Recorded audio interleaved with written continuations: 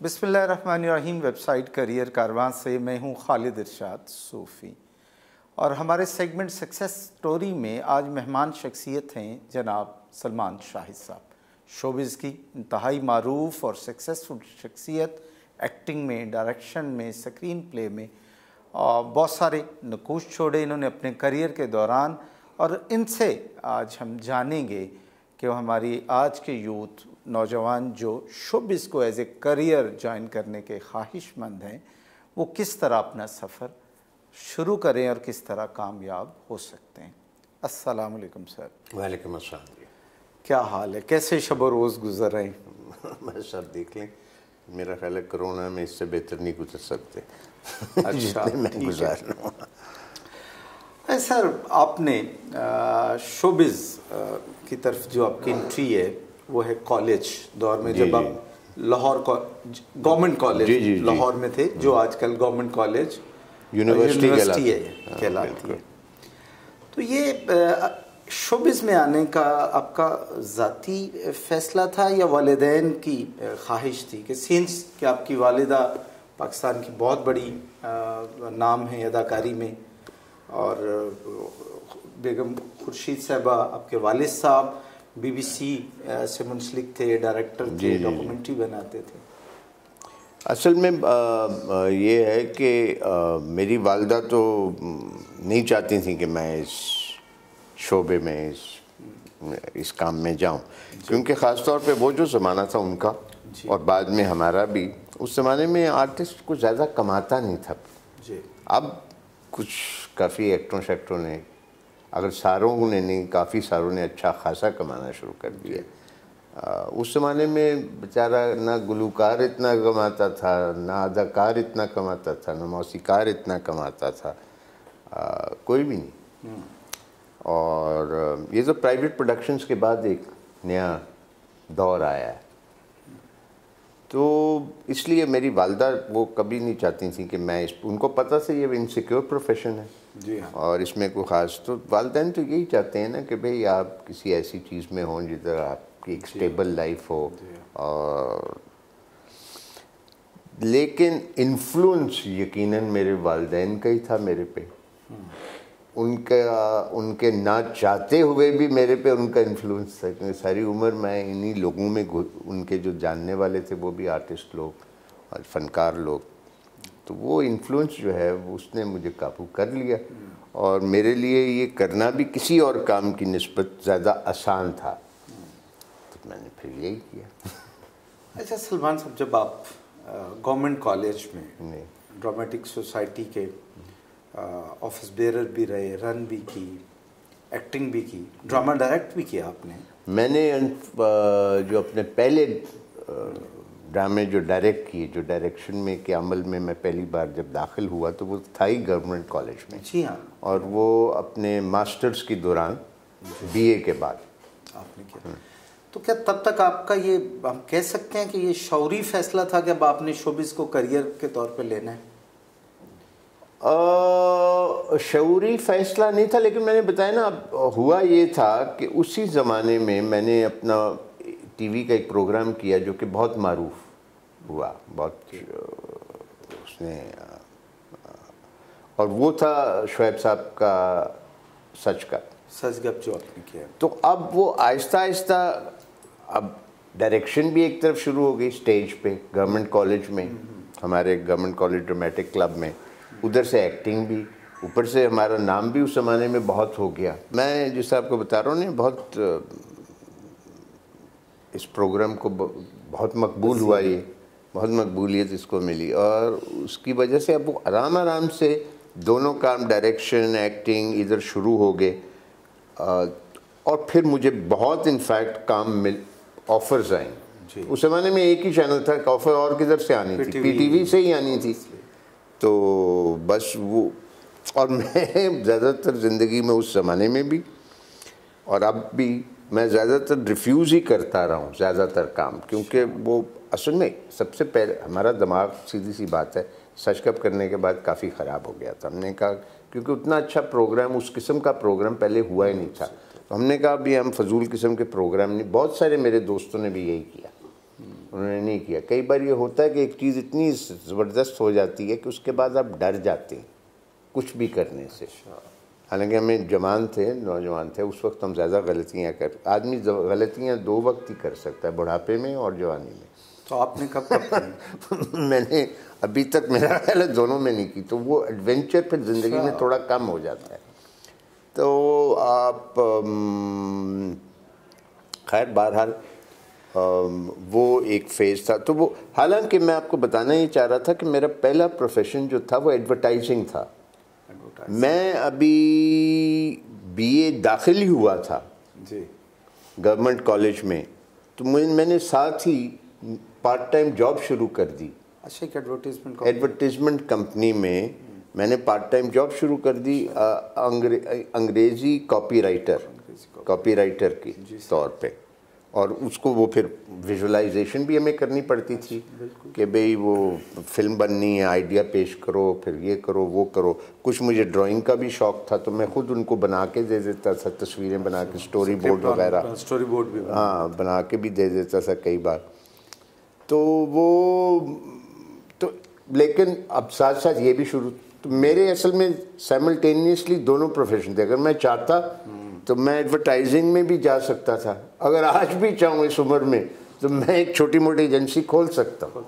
सलमान साहब अभी ज़िक्र आपने इंग्लिश कॉपी राइटिंग का किया। मास्टर्स आपने इंग्लिश लिटरेचर में जी, किया। जी। तो लिटरेचर की तरफ़ रुझान आपका एक अपना फितरी था? उसमें भी देखे ना मेरे वो माहौल जो सारा सारा आर्टिस्ट का इन लोगों का मेरी वालदा जो थी उनके जो आ, बहुत करीबी जो जानने वाले थे उनमें फैज़ अहमद फैज़ साहब थे। उस ज़माने में आर्ट्स काउंसिल के सेक्रेटरी भी थे ना? जी सर उस ज़माने में फिफ्टीज़ में और अर्ली सिक्सटीज़ में। तो ये जितने लोग थे नईम तायस शुएब हाशमी कमाल अहमद रिजवी मेरी वालदा यही इनका ग्रो एक होता था। तो शुएब फैज साहब ज़रा एक ज़्यादा बड़े आदमी उनका रुतबा उम्र के लिहाज से भी तो वो ये सारे उनका उनकी साथ महफिल होती मैंने फैज साहब को एज बच्चा था मैंने देखा हुआ अपने दफ्तर में बैठे हुए। और ये मुस्तफ़ा जैदी जिस तरह आप बता रहे हैं बहुत वो भी बहुत मैार के बहुत बड़े शायर थे। तो हमारी तो अगर मैंने कुछ लिखना शुरू किया हालाँकि उर्दू में नहीं अनफॉर्चुनेटली अंग्रेज़ी में ज़्यादा उर्दू में मैंने ड्रामा ही सीरियल एक आधा लिखा है। तो वो उसका भी ज़रूर इस असर इस बात से होगा कि मेरी वालदा और वालिद साहब वालिद साहब के भी मेरे बहुत करीबी दोस्त थे फैज साहब। मतलब लोग बताते हैं कि जब वो भी इंग्लैंड जाते थे वो कहते थे भी मैंने सलीम से ज़रूर मिलना है। और मेरे वालिद साहब होते थे बर्मिंगम तो वो लंदन से बर्मिंगम जाते थे। आपके वाले साहब से मिलने जाते हाँ। अच्छा शाह साहब ये ये जो आपका एमए इंग्लिश में आपके क्लास फेलो कौन कौन थे? और कुछ उनका तस्करा करें कि मेरे क्लास फेलोज में जनाब थे आपका भला वो मेरा जो अभी भी बहुत करीबी दोस्त है उस्मान पीरजादा उस्मान फिजा साहब और आ, सरवत अली जो कि इस वक्त म्यूज़िकोलॉजी के हेड ऑफ़ डिपार्टमेंट हैं एनसीए में। आ, मंजर से भाई। मंजर से भाई। सरमद का भाई छोटा जिसने एक आधी बड़ी अच्छी फ़िल्म भी की है। इमरान असलम जो जियो टीवी को हेड कर मतलब इस शोबे से जिनका दूर से या करीब से ताल्लुक अभी तक है। आर्ट से या अब अब सरवत अली कोई एक्टर तो नहीं है ना डायरेक्टर है बट वो एक म्यूज़िक से उसका एक खास उसने वाबस्तगी पैदा की है। और बड़े सारे कई लोग हैं जिनका मेरे जहन में नाम नहीं आ रहा जिन जो और शोबों में थे सियासतदान वगैरह ये वो मेरे जहन में ऐसा वापस आते हैं। सच गप में मेरा अगला सवाल भी आपसे यही है कि सच गप से जो आपको शोहरत मिल गई थी उसमें आपके शोबिज करियर अडॉप्ट करने में कितना को रोल अदा किया उस शोहरत ने? मेरे ख्याल उसने काफ़ी रोल अदा इसलिए किया क्योंकि वो फिर इंसान की जब इतनी मकबूलियत हो जाए ना किसी काम में जी। थोड़ी बहुत तो फिर और ये एक ऐसा काम है कि एक्टरों को और राइटर्स डायरेक्टर्स सारों को फिर पसंद भी आती है ये बात। सच्ची सी बात है इस बात में क्या रोकना है शर्माना मतलब है कि आप जब आप मकबूल होते हैं फिर आप बस फिर आप उसको आप कबूल नहीं करते अगर आप मकबूल ना ना हो। तो। किसी हवाले ऐसा- से। ऐसा नशा बहुत एक नशा है। बहुत ज़्यादा हो जाए तो वो बहुत बुरी बात है लेकिन थोड़ा बहुत तो है। आप जितना भी इससे कहें जिस तरह सिगरेट का नशा आप रोकने की भी करें थोड़ा बहुत तो आपका दिल चाहेगा ही ना कि आप सिगरेट पिए। शाह सब ये फरमाइएगा बिल्कुल ये यूथ के दिन है। और उस दौर में गवर्नमेंट कॉलेज में एडमिशन मिलना आज भी मुश्किल है। और इंग्लिश लिटरेचर का स्टूडेंट होना पीटीवी पर जी जी जी मकबूल हो जाना ड्रामा लिख रहे थे आप ये सारी वो खूबियाँ थी जो कि एक ब्राइट करियर को की तरफ़ ले जा सकती जैसे कि आपने बताया कि आप एडवर्टीजमेंट में भी आगे बढ़ सकते थे। तो उस दौर में कोई अब को फिक्रमंद नहीं हुए कि मैं ग्रेजुअली एक्टिंग में या शोबिज में इन होता जा रहा हूँ तो इससे तो मिलता ही कुछ नहीं। फिक्रमंद तो मैं आज तक हूँ। क्योंकि हमारा अच्छा। शोभा ही और काम ही ऐसा है जो कि जिसकी वजह से मेरी वालदा मैं समझता हूँ कि वो नहीं चाहती थी कि इस काम में जाए। अच्छा। लेकिन हमारा काम ही इस तरह का है ना। हमारा और लेकिन इवन दो और लेकिन फिर वही है बात कि अगर आप जब इस काम में पड़ जाएँ तो आप ऑब्वियसली एक रिस्क लेते हैं। आपको तो नहीं पता आप इसका मैंने तो चले थोड़ा बहुत तब भी कोई मकबूलियत हासिल कर ली कोई कर लिया काम हाथ पैर मार के कुछ जमा पूंजी भी हो गई, कुछ जो भी होता है, इंसान को ज़िंदगी में करना ही पड़ता है। लेकिन कई लोगों का बिल्कुल नहीं होता, कुछ भी नहीं होता। वो इसमें आते हैं और किधर भी ख़ास किधर नहीं जाते। तो वो वो रिस्क लेते हैं बारह वो भी बेचारे लगे ही रहते हैं। मैं कई ऐसे लोगों को जानता हूँ। कई हैं जो कि बहुत मकबूल होते हैं, उनके लिए बहुत ज़्यादा आसानियाँ फिर खुद ब खुद पैदा होती हैं। लेकिन जो कि अब खैर मैं तो अब दोनों ज़मानों का हिस्सा रहा हूँ ना ये जो प्राइवेट प्रोडक्शंस का भी और इससे पहले जो कि सिर्फ़ पीटीवी वाला था। लेकिन जो सिर्फ़ पीटीवी वाला ज़माना था ना उसमें एक्टिंग वैक्टिंग या राइटिंग से कोई ख़ास कोई नहीं कमाता जी इसीलिए मेरा ये सवाल कोई नहीं उस दौर में बड़ा ये बड़ा ये हमने अब जब पंद्रह बीस साल से अभी जो दूसरा काम आया सच्ची बात है इसमें हमने निस्बतन ज़्यादा कमाया। कुछ खुशहाली हाँ, को इंजॉय हाँ। किया। सर अब फ़िल्म स्टडीज़ के लिए मॉस्को गए मॉस्को फ़िल्म स्कूल से आपने हम्म, डिप्लोमा हम्म, किया। हम्म। वो वो क्यों किया आपने? क्या मुझे वो थी? मिली थी स्कॉलरशिप अच्छा ठीक है। मेरे पास तो ना पैसे थे कि मैं किधर बैरून मुल्क जाऊँ। मुझे तो Pakistan national council of the arts की तरफ़ से मिली थी स्कॉलरशिप अच्छा। जाने की। और वो स्कॉलरशिप उस ज़माने में Punjab council of the arts का दफ्तर था जो कि पुराना फ्री मेसन हॉल है जो कि अब चीफ मिनिस्टर का दफ्तर बन चुका है। अच्छा। वो Punjab council of the arts का था अच्छा, अच्छा, दफ्तर।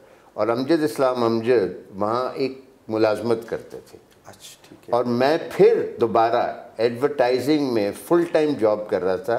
एक एडवर्टाइजिंग एजेंसी थी स्कैन एडवर्टाइजिंग और उसका दफ्तर डेविस रोड पे बिल्कुल जो जंग का जहाँ दफ्तर है ना उसके पदली तरफ़ था। अच्छा ठीक है ठीक है।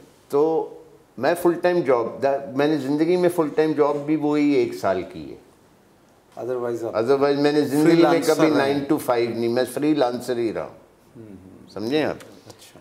तो वो मैं जॉब कर रहा था तो मुझे कॉल आई अमजद की कि वो वो एक स्कॉलरशिप है तो तू करनी है। तो मैं तो बड़ा खुश हुआ। तो कौन चाहता? मैं तो टिम्बर टू भी भेज देते, हमने चले जाना था। तो वो फिर मैंने कहा हाँ करनी है। उसमें भी बड़ी गेम हुई, क्योंकि मुझे जब स्कॉलरशिप शुरू में जब मुझे उसने कहा कि तुम आ जाओ फ्री मेसन हॉल वो कागजात लेने। मैं वहाँ चला गया, देख लो। उसने ना साहब दोस्ती यारी में उसने साथ बिठाया चाय पी रहे हैं मैं भर रहा हूँ मैं क्या वो एक ही थे कर से कर कर कुट के। मेरा ख्याल उस ज़माने में शनाख्ती कार्ड था नहीं था गालबन था था ही नहीं ये सेवेंटी सिक्स की बात है। जी। मैं अभी कॉलेज में मेरा रिज़ल्ट भी एक मास्टर्स का आना था अभी। वो सप्लीमेंट्री थी मैं स्टूडेंट कभी अच्छा नहीं था बहुत। अच्छा। आई वॉज़ ऑलवेज बहुत कम ज़िंदगी में मैं अच्छा स्टूडेंट हुआ हूँ ज़्यादातर। तो वो स्कॉलरशिप आ गई। वो भी मेरा ख्याल इसी वजह से कि सच गप में अब लोग जानते थे ये वो था तो मुझे मेरे ना मैंने कोशिश की ना कुछ। वो मैंने भर के कागज़ भर दिए और थिएटर की स्कॉलरशिप थी। उसमें उन्होंने कहा था अपने ख़ास इंटरेस्ट भी बयान करो। तो मैंने को फ़िल्म का कह दिया कि असल में तो मेरा इंटरेस्ट फ़िल्म की तरफ़ है। जब स्कॉलरशिप आई तो वो थिएटर की नहीं उन्होंने रूसियों ने मुझे फ़िल्म की स्कॉलरशिप दिलवाई। मैं और भी खुश हो गया मैंने कहा चलो ठीक है मुझे पता था बड़ा वापस आके फ़िल्म इंडस्ट्री में कुछ नहीं हुआ उससे कोई नहीं हुआ क्या मतलब मैं यहाँ रहता तो मैं वाकई चार पाँच फ़िल्में भी बनाता। लेकिन हुआ उसका कुछ नहीं लेकिन उस एक एक्सपीरियंस था बड़ी बात है।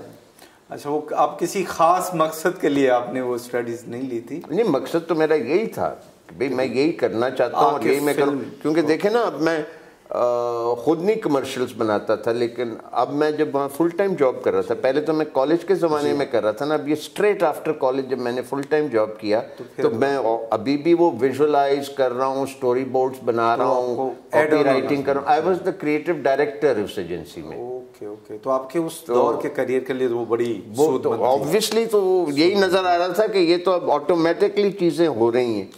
अच्छा सर एक कॉलेज भी जो था ना मैं गवर्नमेंट कॉलेज को मेरिट या मार्क्स पे नहीं गया था। मेरे परदादा भी गवर्नमेंट कॉलेज जो पहले स्टूडेंट्स थे ना गवर्नमेंट कॉलेज के उनमें जो जब ये बना अठारह सौ पता नहीं साठ या जब भी बना उसमें मेरे दादा परदादा थे इसमें। अच्छा ठीक फ़र्स्ट स्टूडेंट्स में। अच्छा अच्छा तो मैं किनशिप बेसिस पे दाखिल हुआ था। नॉट ऑन माई मार्क्स वगैरह।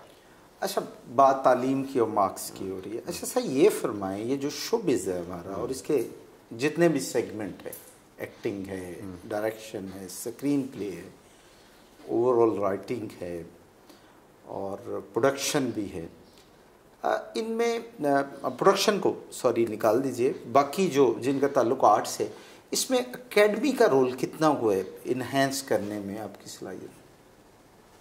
स्कूलिंग का मतलब school of surely helps you academy वो भी वो ज़्यादा हेल्प करती है जी। जिसमें आपको सारे लवाजमात भी दिए जाएँ आपको इक्विपमेंट दी जाए अगर आप फ़िल्म की बात कर रहे हैं या अगर आप थिएटर की बात कर रहे हैं आपको एक बाकायदा थिएटर हॉल दिया जाए चाहे स्टूडियो थिएटर हो जिसमें आप प्रैक्टिस कर सकें।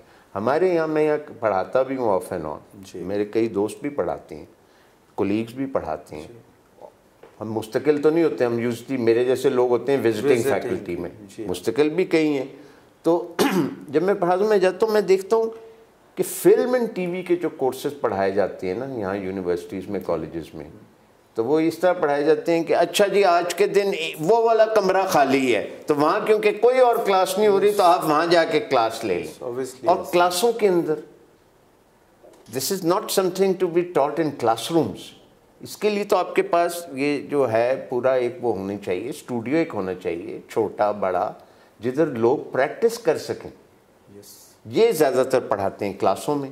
क्लासों में आप इनको नहीं पढ़ा सकते असल में। You have to this all has to be done in practice class में जो आपने पढ़ाना है उसी जगह स्टूडियो में आप पढ़ा भी दें। थोड़ी सी इंफॉर्मेशन आप दे देते हैं जो थ्योरेटिकल होती है। थ्योरेटिकल इंफॉर्मेशन वैसे भी नहीं देनी चाहिए। आपको कहना चाहिए ये ये किताबें अब तो गूगल है। आप करें देखें। आप उनको सजेस्ट कर दें ये देखें वो देखें वो करें। उधर आप प्रैक्टिस कराएँ। यहाँ नहीं कराते। मैं जहाँ पढ़ रहा था वहाँ रूस में सोवियत यूनियन का ज़माना था। तो बहुत फैसिलिटी थी। बहुत फैसिलिटी हमारे कोई वहाँ जो कि आपको अमेरिका वलैत में भी नहीं मिलेगी। Even in America you will not get that facility अच्छा। जी। वो दुनिया का पहला फ़िल्म इंस्टीट्यूट है। अच्छा मास्को जब जब अक्टूबर रेवोल्यूशन 1917 में रूस में जब हुआ है जिसके बाद सोवियत यूनियन बनी है तो सीधा लेनिन ने कहा था कि फ़िल्म और थिएटर के थ्रू हम अपना प्रोपागेंडा करेंगे हमें ये चाहिए। तो उस पहला फ़िल्म स्कूल जो बना था वो मॉस्को में ये बना था जिधर मैं पढ़ के उससे पहले कोई तस्वर नहीं था फ़िल्म स्कूल का। अच्छा। ये अमेरिका वलायत यूरोप जर्मनी जिधर भी वो बाद में बने। दस दस पंद्रह पंद्रह बीस बीस साल बाद बने। अच्छा। और हमारा जो स्कूल है उसने ज़्यादातर उनके इन्फ्लुएंस में जितने भी मुल्क थे जैसे ईस्टर्न यूरोप मिस्र ये वो वहाँ के फ़िल्म स्कूल्स इन्होंने बनाए। रशियंस ने बनाए।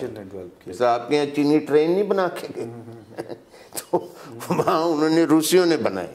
अच्छा सलमान साहब ये फरमाइए कि शुभ एक्टिंग जो है बंदा पैदाइशी एक्टर होना ज़रूरी है या मेहनत से भी अच्छा एक्टर बन सकते दोनों चीज़ों की ज़रूरत होती है। सिर्फ़ आप में अगर टैलेंट हो और उसकी परवरिश ना हो आपने कुछ सीखा ना हो तो कोई भी काम नहीं चलता। अच्छा ठीक है।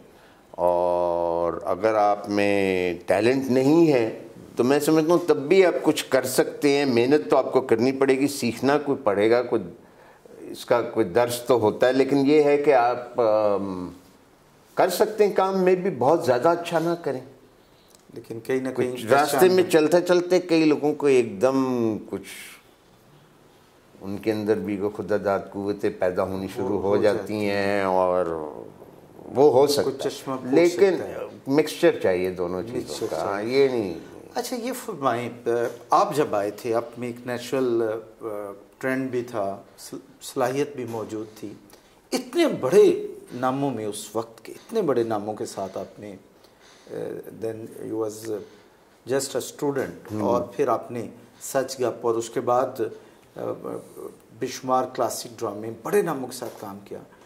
तो उनमें रहते हुए पहचान बनाने के लिए कितनी को मेहनत करना पड़ती थी? क्या चैलेंजेस क्या थे उसमें? नहीं उसमें मेहनत की बात भी हो सकती है किसी को। मुझे उस तरह को ख़ास बहुत ज़्यादा ज़ोर लगा के मेहनत कुछ टैलेंट था और आई वॉज़ लकी अब देखे ना जिस तरह सच कब था कि मेरे उस्ताद थे शुएब हाशमी हमारे इकनॉमिक्स के टीचर थे और फैमिली फ्रेंड थे। जी। मतलब उनके ससुर हमारे फैमिली फ्रेंड थे। सही इस हवाले से कि मेरी वालदा और वाले साहब दोनों के बहुत करीबी दोस्त थे। उसके अलावा वो खुद शुएब साहब जो थे he was a junior colleague to my mother उस ज़माने में। आर्ट्स तो मुझे तो वो जानते थे उन्होंने मुझे छोटे होते से देखा हुआ था। तो उन्होंने जब मुझे कहा तो ये भी बड़ा नेचुरल था। वो खुद मेरी वालदा के साथ अदाकारी वगैरह कर चुके हुए थे। उस ज़माने में वो हदायत का राइटर नहीं थे। As a very young man वो एक्ट करते थे। वो कमाल अहमद रिजवी डायरेक्ट करते थे या नहीं था तो वो उन ड्रामों में एक्ट करते थे। मेरी वालदा भी करती थी। तो वो तो उन्होंने मुझे दावत दी थी। तो ये मेरे लिए तो बड़ा आसान हो गया ना कोई रास्ता भी खास नहीं ढूंढना पड़ा किसी खास दरवाजे पे जाके दस्तक भी नहीं देनी पड़ी। तो ऑटोमेटिक हो गया। तो इसी तरह बाद में भी वो एकदम इतनी मकबूलियत मिली कि मेरे लिए रास्ता बहुत आसान हो गया उसके बाद एकदम मतलब मुझे कोई जाके दरवाज़ों पर खटकाना नहीं पड़ा। लेकिन शोबिस में तो अगर आप मेहनत या रियाजत नहीं करते एक एक तस्वुर है तो आपके फ्लॉप होने का भी ये दो दार मतलब एक ऐसी वो हो सकते तलवार है कि एक्टर का हाँ एक्टर भी हो सकते हैं। आई डोंट नो इतना। देखें उसमें भी बहुत डिपेंड करता है कि जो वो पूरी इंडस्ट्री है वो किस लेवल पे अगर वो बड़ी okay. पैसे वाली इंडस्ट्री है जैसे हॉलीवुड वहाँ या और बॉलीवुड वहाँ अगर आप प्रॉब्ली बड़े स्टार भी हैं आपने दो फ़िल्में फ्लॉप दी हैं तो वो आपको हायर करने से लोग घबराना शुरू कर देंगे। हमारे यहाँ वैसे इतना पैसा नहीं इस काम में। कोई एक आधे एक्टर पे नहीं डिपेंड करता कि ये सक्सीड होगा या फेल होगा। इसलिए लेकिन आप देखें यहाँ फ़िल्म जब बनती है जो। प्रोड्यूस करता है फ़िल्म उसकी फ़िल्म एक फ्लॉप चली जाए तो बड़ी मुश्किल हो जाती है उसको हाँ अगली अगली फ़िल्म बनाना। और मुश्किल हो जाता है। पहले ही मुश्किल है इस मुल्क में। इंडिपेंडेंटली कुछ भी कर रहा लेकिन अगर वो फ्लॉप हो जाता तो बेचारा उसके लिए और मुश्किल हो जाती है क्योंकि वहाँ पैसा ज़्यादा दरकार है। अच्छा सर हमारे यहाँ अभी ज़िक्र हुआ फ़िल्म का और ये आपने थिएटर भी किया हम्म। रेडियो टीवी जो है हम्म। जिसको हम इलेक्ट्रॉनिक मीडिया कहते हैं वो भी किया लिखा भी। लिखा बाद में अब हाँ नहीं मैं ओवरऑल अब अब तक के आपके करियर पे एक बात कर रहा हूँ व्यूअर्स के लिए। अभी किस सेक्टर में इवन फ़िल्म भी की आपने तो किस सेक्टर में आप समझते हैं कि काम हमारे यहाँ अच्छा हो रहा है? काम ऑफ़ एंड ऑन अच्छा होता रहता है। ये नहीं कि जो लोग कहते हैं ना जी पहले पीटीवी के ज़माने में बड़े ज़बरदस्त ड्रामे होते थे होते थे उस ज़माने में बहुत सारे बुरे भी होते थे। बल्कि मोस्ट प्रॉब्ली ज़्यादातर मीडियोकर या बुरे ही होते थे। अच्छे जो होते थे वो कम ही होते हैं हर जगह ये होता है। आजकल भी अब मवाद बहुत ज़्यादा बहुत ज़्यादा कुछ हो रहा है। तो उसके अंदर फिर ये होता है कि जितना ज़्यादा होगा उसमें गार्बेज भी ज़्यादा होगा गंद भी ज़्यादा होगा। ये अलबत्ता बात है कि उसमें से निकलता कम है जो कि ख़ास अच्छा हो या कुछ हो जिस तरह के चंद सीरियल जाते हैं। लेकिन हर साल एक आधा या उससे भी ज़्यादा सीरियल ऐसे होते हैं जो बहुत लोग तो कम मैं नहीं देखता लेकिन पसंद करते हैं। और नाम भी लेते हैं और मैंने एक आदत देखा है, वो कई अच्छे भी होते हैं। उनमें से तो मैं ये नहीं समझता कि आज के दिन काम जो है वो बिल्कुल गिर गया, ये बिल्कुल फजूल बात है। I don't think this is true वो ज़माने ज़माने की बात होती है। मसलन अब देखें ना, जो मौसीकी के प्रोग्राम पी टी वी करता था, उनके सेट उनके हर चीज़ बड़ी एक खास पेंडू टाइप की ऑलमोस्ट होते थे। अब आपका जब ये होता है कोक स्टूडियो वगैरह तो उसकी आप लेवल देखें। Yes. अब वो प्राइवेट है हो रहा है लेकिन वो होता तो यहाँ है ना। जी हाँ। तो आप देखें मैगजीन प्रोग्राम्स जो हैं इंटरव्यूज़ मोबाइल से खबर तो पीटीवी की वैसे ही कोई नहीं सुनता था खास। क्योंकि वो एक हुकूमत का वो एक वही होता है। हाँ जी, हाँ। बिल्कुल। तो आप आप देखें तो आप किस लिहाज से कहती हैं? हर ड्रामा के लिहाज से ड्रामे में भी ऑफ़ एंड ऑन अच्छी चीज़ें होती रहती हैं ऐसी कोई बात नहीं। ऐसी कोई बात नहीं। अच्छा ठीक है। अच्छा सर ये फरमाइएगा कि आपका सारा करियर जब आप देखते हैं तो कभी मायूसी हुई? नहीं मुझे कोई ख़ास मायूसी नहीं। हुई पछतावा। वो पछतावा होता है कि आपने अगर कोई बुरा काम किया है उस वक्त होता है वो अगला अगर आप ज़रा सा भी बेहतर होगा तो आपका पछतावा ख़त्म। मैंने क्योंकि काम ही कम किया है तो मैंने अपने आप को ज़्यादा मौका ही नहीं दिया बुरा करने का। क्योंकि अब इस तरह मैं बता रहा हूँ ना जब काम ज़्यादा होगा गार्बेज भी ज़्यादा होगा। ठीक है। गंद भी ज़्यादा पड़ेगा। अच्छा ये जो आपने सेलेक्टिव काम किया है इस काम में से आप खुद को किस हैसियत में बेहतर समझते हैं? As a actor as a director और एक्टिंग में भी कॉमेडियन हाँ। आप किस हैसियत से खुद को बेहतर समझते हैं? एज एन एक्टर बहुत सारे लोग मुझे कॉमेडी में ज़्यादा पसंद करते हैं। कई कई लोग जानते ही नहीं कि मैं कॉमेडी करता भी था या कर सकता हूँ। वो डिपेंड करता है उन्होंने क्या देखा है उस हवाले से। लेकिन एक्टर खुद अपने आप को कभी नहीं कहता। कि मैं कॉमेडियन हूँ या मैं मैं तो सेटिस्फेक्शन से मुतालिक क्वेश्चन था मेरा। नहीं वो आपके वो परफॉर्मेंस वाइज होती है आपकी। मतलब मेरे एक मेरे जो सबसे अच्छे जो रोल्स जो मैंने किए ना इनफैक्ट वो टीवी पे नहीं किए वो स्टेज पे किए हैं। हाँ ये देखें ना, ये डिफरेंट बात है। और वो थे कॉमेडी के अ, और अभी काफ़ी रिसेंटली तक मैं करता रहा हूँ ऐसी कोई बात नहीं। अच्छा ठीक है। तो मैं कहता हूँ कि ऐसी कोई बात नहीं लेकिन मैंने उसको तब्दील भी किया। मैं जब क्योंकि शुरू ही मेरा प्रोग्राम कॉमेडी से शुरू हुआ था तो वो एक किस्म का लेकिन मैंने बाकायदा उसको फिर किया कि भी मैं उससे तोड़ के कुछ अलहदा चीज़ भी करूँ तो वो भी मैंने अपना नाम बना लिया थोड़ा बहुत मतलब कि भी as a generally as an actor अब मुझे कोई ऐसे प्लेस नहीं किया जाता कि ये कॉमेडियन है। पीपल लुक एट मैं समझता हूँ they look at me as an actor they don't think of me as a कि ये विलन है या ये कॉमेडियन है या ये ट्रेजिडी करने वाला है। तो अब कोई ऐसा रोल या ऐसा कोई आपका जो आउटपुट देना चाहते हो इनपुट इसमें आपका कोई जो ना कर सके हो कोई हसरत? नहीं होती है कई एक्टरों को होती है मुझे ये हसरत भी नहीं है। अच्छा। मुझे ऐसी कोई हसरत नहीं है जो आता है मेरे पास, किधर से कोई काम। मैं देखता हूँ कि इस वक्त इस कौन सा बेहतर है। और उसमें फिर कुछ अच्छा करने की करता हूँ और ज़रा सा अच्छा उसमें हो जाए तो फिर बड़ा मज़ा आता है। मैं ये नहीं, खुद, मैंने कभी ना किसी को कहा है प्रोड्यूसर को या डायरेक्टर को एज एन एक्टर या खुद एज अ डायरेक्टर और प्रोड्यूसर को करने की कोशिश ऐसी चीज़ की है जो कि दूसरे मेरे से नहीं करवाते थे मैं कहूँ कि मैंने खुद करनी है ना मुझे जो आता है काम मैं कहता हूँ अच्छा वो अच्छा ये तो अच्छा है। कई बार इंसान सिर्फ़ इसलिए करता है कि अच्छा या बुरा ज़रूरत है। क्योंकि यू नो काम को किस कदर सवार किया आपने?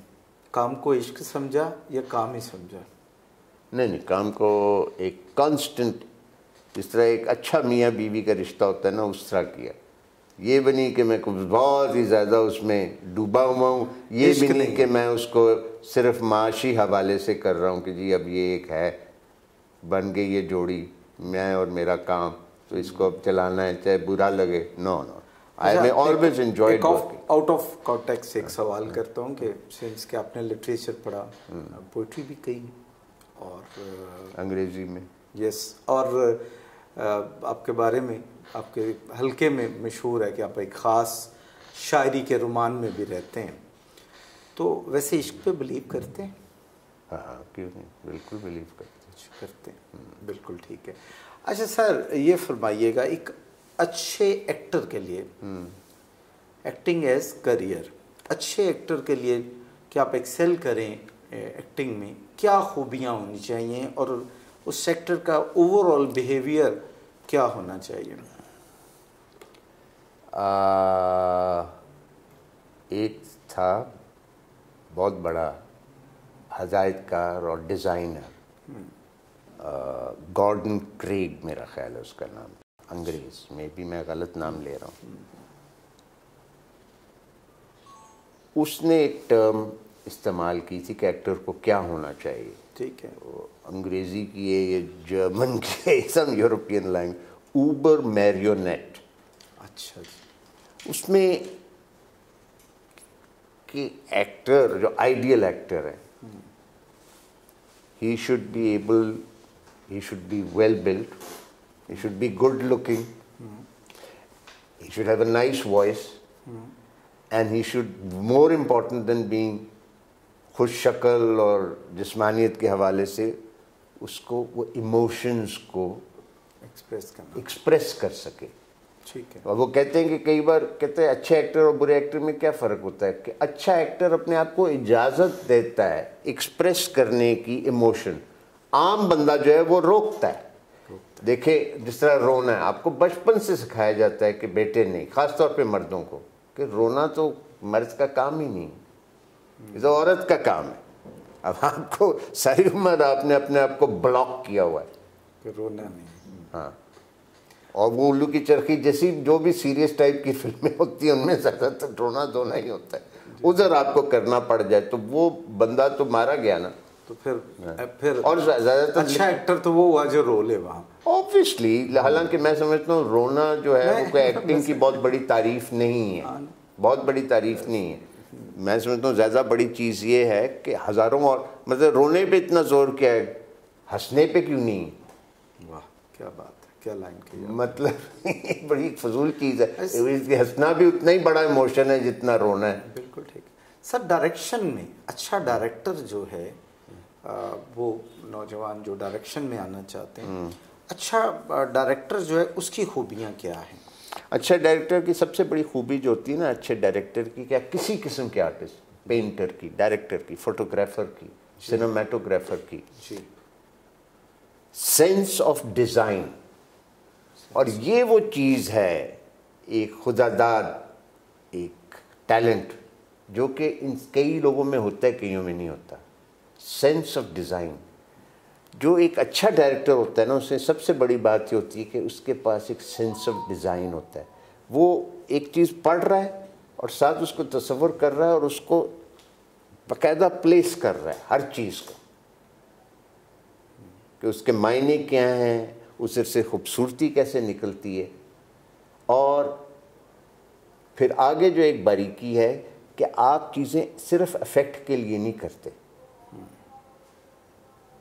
एक होता है ना कि आप में आप सबसे पहले अच्छा केक बनाएँ जो कि मज़ेदार हो। जी सर। फिर उस पर आप सोचें कि इस पर मैंने छः फूल लगाने हैं दो पत्ते लगाने हैं एक लाल रंग की कोई चीज़ ऊपर चेरी रखनी है। उसको जो बिकॉज़ ऑर्नामेंटेशन जो होती है ना ज़बरदस्ती की दैट इज़ बैड आर्ट अच्छा। तस्वीर में भी। अब ज़बरदस्ती फूल पत्तियाँ और ज़बरदस्ती की बना बनावटें बनानी शुरू करेंगे ना that is called artifice it is not art अच्छा आपको अ, इंडिया में दो फ़िल्में करने का मौका मिला इंडियन दो फ़िल्में की। एक्सपीरियंस कैसा रहा? तीन। तीन। और एक एक वो जो दो कमर्शियल हैं और एक वो जो है वो वो कमर्शियल में भी ऐसी हैं कि वो दरमियान उस तरह की बिल्कुल कमर्शियल नहीं तो मैं इसलिए वो तीसरी का अ, नहीं किया। मैं कमर्शियल जो फ़िल्म हाँ। की आपने मैं क्वेश्चन इसीलिए उसका किया। है तो इन दो फ़िल्मों के पे जो आपका एक्सपीरियंस है वो ज़रा हमारे साथ शेयर कीजिएगा। इंडियन डायरेक्टर्स उनका एक तो यार वहाँ यू नेवर फील वहाँ काम पे आप गए हैं एक तो गलबन एक गैर मुल्क दूसरा मुल्क है। हालाँकि बिल्कुल हम जैसे ही लोग हैं लेकिन दूसरा मुल्क है तो आप जाते हैं तो यू आर अ मेहमान। जी ठीक है। ऑब्वियसली फिर वो वो भी ट्रीट आपको थोड़ा लिहाज रखते हैं इस बात का। आप भी लिहाज रखते हैं कि यार अब ये इतने अच्छे अगर मेज़बान बन रहे हैं तो आप भी अच्छे ही मेहमान रहे। आ, लेकिन वहाँ ये जो सबसे बड़ी बात है ना ये मैंने कई जगह कहा है मैं कभी कभी किसी जाऊँ किधर लेक्चर देने या पढ़ाने तो वो वो ये सवाल पूछते हैं। वो ये होता है कि जो बिहाइंड द कैमरा उनके लोग हैं ना उनकी तालीम और लेवल जो है ना वो बहुत यही ज़्यादा है। In front of the camera हम सारे एक जैसे हैं। हमारे एक्टर भी अच्छे हैं। हमारे भी सारे एक्टर पढ़े लिखे हैं। हमारे डायरेक्टर्स पढ़े लिखे हैं। हमारे कैमरामैन वगैरह लेकिन जो बाकी है साउंड क्रू दिस दैट हज़ार और लोग जो होते हैं वो they are much more educated over अच्छा आपसे आखिरी सवाल के एंड यू नेवर फील कि आप you are wasting your time Okay. आपको उन्होंने दिन एक तो वो देखे ना उनके अब इंफ्रास्ट्रक्चर ऐसे बना हुआ है। आप जाएँगे आपके लिए उसको आप जो भी कह लें हनी वैगन वो कंटेनर टाइप की एक चीज़ होगी। हाँ। आप जाके वहाँ बैठ के बेशक आपका काम पाँच मिनट का आपको वहाँ गर्म ठंडा पानी अंदर एसी हीटर लगा हुआ है। उधर ही आपका मेकअप रूम है है, उधर ही हाँ आपका वॉशरूम है। हमारे तो अभी तक ये हालात हैं कि आपको किधर ले जाएँगे तो अगर वहाँ ठंड है तो आप ठंड में ही मर रहे हैं। अगर वहाँ गर्मी है तो आप गर्मी में ही मर रहे हैं। अगर वहाँ एक गुसल खाना है और बीस एक्टर हैं तो वो सारे के सारे वही यूज़ कर रहे हैं। लगे इधर तो ये है ना कि आपका वो that is your room like a hotel room आपके कपड़े सारे वहाँ हैं जो कुछ मेकअप आके जो करना है मेकअप आर्टिस्ट आपके कंटेनर में आएगा आपका मेकअप करके आपको चेंज करवा के जाएगा। यस तो आपको ये नहीं होता आप चाय मांग रहे हैं चाय आ रही है वो खुद आके पूछ रहे हैं आप। कुछ खाना चाह रहे हैं कुछ करना चाह रहे हैं वो हो रहा है वहाँ। आप गए आपको वहाँ से शूट बेसिक कैमरा जो है वहाँ से हज़ार गज दूर है लेकिन आपको गाड़ी लेके जाएगी। आपने अपना सीन किया आपका ख़त्म हो गया। डायरेक्टर ने कहा जी आई एम हैप्पी आपने जो काम किया ठीक है मेरी यही डिमांड थी। गाड़ी आपको वापस लेके आएगी। वो एक सीन वक्फे वक्फे पे या इकट्ठे हो गए एक या दो सीन इससे ज़्यादा हो नहीं सकते तीन चार। उसके बाद उन्होंने कहा कि जी अब आप फारिग हैं आप चेंज कर लें हम आपको वापस जिधर आप की रहाइश आप ठहरे हुए हैं आपको ले जाते मतलब यू नेवर फील के के हाँ उनका के आप जैसे यहाँ लोग जो एक्टर है ना बेसिकली और दूसरे लोग भी गधे घोड़ों की तरह बेचारे काम कर रहे होते हैं। अच्छा। ये फ़र्क है बहुत। आखिरी आपसे सवाल कि आप पढ़ाते भी हैं प्राइवेट यूनिवर्सिटीज़ में। अभी जो प्राइवेट चैनल्स की वजह से एक अट्रैक्शन तो है नौजवानों में एक्टिंग की इस तरफ़ आने की। तो नौजवान जो इस तरफ़ आना चाह रहे हैं एज ए करियर सीरियसली उनके लिए कोई पीस ऑफ़ एडवाइस भाई उन मुझे भी ये पूछते हैं मैं कहता हूँ सबसे पहले जिस तरह हमने किया था। जी। आप अगर स्कूल कॉलेज में किधर हैं जी। वहाँ सबसे पहले कुछ करना शुरू करें। ठीक है। थिएटर है थिएटर अपना सोसाइटी है थिएटर सोसाइटी है फ़िल्म सोसाइटी है कुछ उसमें जाएँ। ठीक है। अब तो और अब तो आपके पास ये डिजिटल और ये सोशल मीडिया इतना आ गया आप उसके ऊपर शुरू करें। बिल्कुल ठीक है। आपके पास अब तो बहुत ज़्यादा रास्ते हैं बहुत ज़्यादा कुछ कर हमारे ज़माने में तो बल्कि इतना नहीं था। ठीक है। ये आके सीधा आ गए आप पहली बार आपने कभी कुछ नहीं किया? जी मेरे घर पहुँच गए दीवार दरवाजे पे। आप घंटी बजा रहे हैं कि जी मुझे भी शौक है तो मैं आपसे बात करना चाहता हूँ। यार इस तरह के डायरेक्टर तो कोई भी नहीं है। मुझे खुद शौक है। मैं लोग कह रहा हूँ कि मुझे भी काम दो तो मैं तुम्हें किधर से काम दूँगा? है ना? बिल्कुल ठीक है। तो ये अब तो इतने मौाक़े हैं इतने रास्ते हैं इतने दरवाजे हैं कि आप आप आप खुद कर सकते हैं। अब तो आप अपने आप को खुद बना सकते हैं। साबित कर सकते हैं। बिल्कुल ठीक। सलमान शाह साहब से आपने बहुत सारी कारामद बातें सुनी और खसूसन वो नौजवान जो शोबिज़ में करियर बनाना चाहते हैं as a actor as a director even screen play की तरफ़ आना चाहते हैं। उन, यकीनन उन्होंने सलमान साहब की बातों से बहुत कुछ सीखा होगा और हम उम्मीद करते हैं कि इन पर अमल करके आप बतौर एक्टर बतौर डायरेक्टर शोबिज़ में एक अच्छा करियर अडॉप्ट कर सकेंगे। मुझे दीजिए इजाज़त, बहुत जल्द किसी नई शख्सियत के साथ आपसे मुलाकात होगी। अल्लाह हाफिज़।